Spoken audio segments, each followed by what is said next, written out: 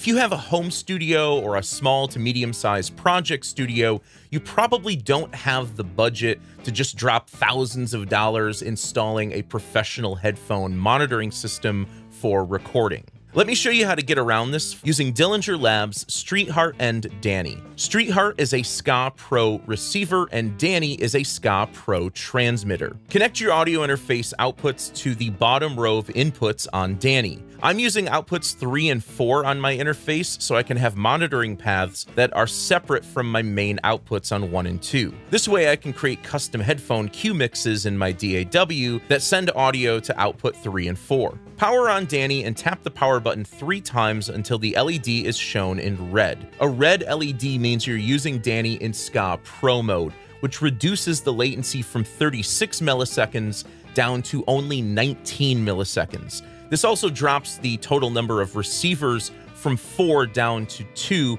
but that's not really a big deal here since we're only using one receiver. Power on Streetheart and it should automatically bond to Dani. Check for the bright amber LED here, and if it doesn't automatically bond, tap the bond button two times to explore for and bond to Dani. Once bonded, press and hold the bond button for a few seconds to greenlist Dani. After you add Dani to Streetheart's green list, you'll never have to worry about this step again.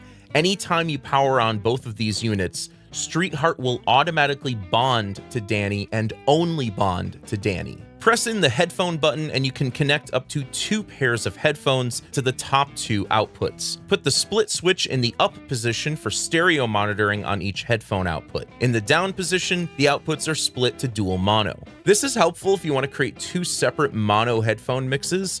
This one will output SKAA channel 1, this one will output SKAA channel 2, but in my case, this will be output 3 and output 4 coming from my audio interface. The musician in the tracking room can control their headphone level using the volume knob on Streetheart. And if you want to mount Streetheart on a stand, we have a mounting kit for that. When used together, Streetheart and Dani have a 50 meter range. Closing doors between your control room and your tracking room may reduce that range, but in most setups, it's not going to be an issue.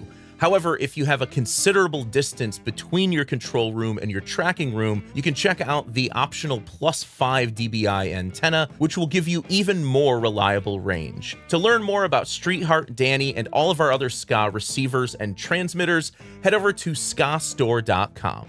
Thanks for watching.